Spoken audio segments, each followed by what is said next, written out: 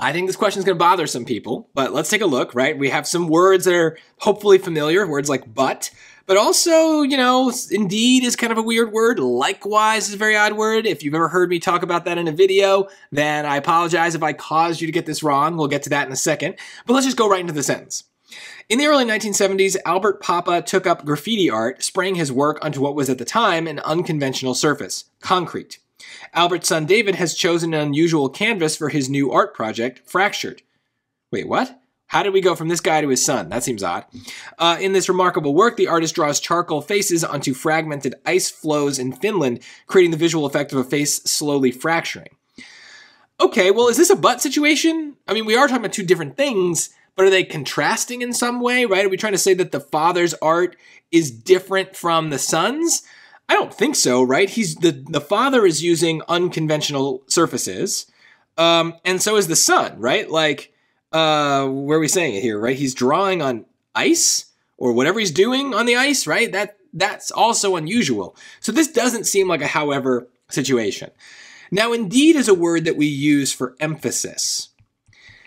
So a lot of times when indeed is correct, it's usually uh, correct because nothing else works. Um, but in this case, I also am pretty sure it's going to be wrong because the second sentence is different from the first.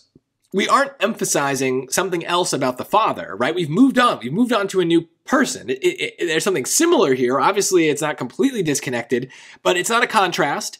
But it's also not kind of emphasizing something we said about the father, right? It's it's we've got to kind of make the connection ourselves. And indeed is a word where the emphasis or the the connection that we're trying to highlight is more obvious. And so we just don't have that here. So i would be sure that that's wrong but in other cases the only reason i i might either pick indeed or kind of be left with it is because i've found the other answer so it's it's about it's more of a process of elimination choice in normal circumstances now second uh, we would need a first right uh, these aren't events. These aren't things that are happening in a certain order. I get why some people are going to be picking that because you're like, oh, well, first, the father was drawing graffiti. Second, the son is drawing on ice, right? That That is logical, but it's not set up that way. It's, it's not set up that we're trying to s- describe it as a sequence. But then that leaves us with likewise, which uh, I have said in other videos for this version of the SAT, the last version of the SAT is almost always wrong. And the reason I say that is it's it's usually a choice, but it is not usually correct. It's just one that sounds kind of smart, so people pick it when they have no idea what's going on in the sentence because they're like, "Oh, likewise." That's like what smart people say, and so they they think then it must be right. But likewise is basically just uh, another word for similarly. So it's not that it's always wrong, it's just that very rarely are we actually in a situation we are trying where we are trying to say that two things are similar. We are very often in situations where we say that they contrast, right? So that's why however is a much more common answer. But uh, very rarely we're trying to say that two things are similar.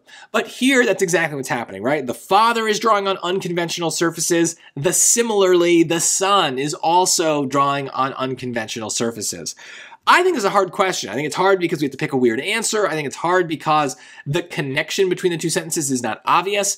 Um, but remember, we we ultimately we would like to have kind of like a gut reaction to like, oh, this is the kind of word I would have said here. This is my transition, and that's why things like but, so, and those are such useful placeholders. But if we can't do that, always remember we only have four options. Test them out, see how they sound, see how they fit, see if you can find that transition that you weren't able to pick up on when you first read the sentence. See if just seeing these answer choices kind of makes you see a, a connection that you didn't see originally, right? That's that's kind of the point. Um, but I will say, just kind of to end, that yes, likewise is occasionally right. Uh, it is a synonym for similarly, but it is not commonly right. So if you do see it in most questions and you're totally confused about what's going on, I would say avoid it. Uh, I still think that that's a generally safe way to go about these, but um, you know, always go by the circumstances.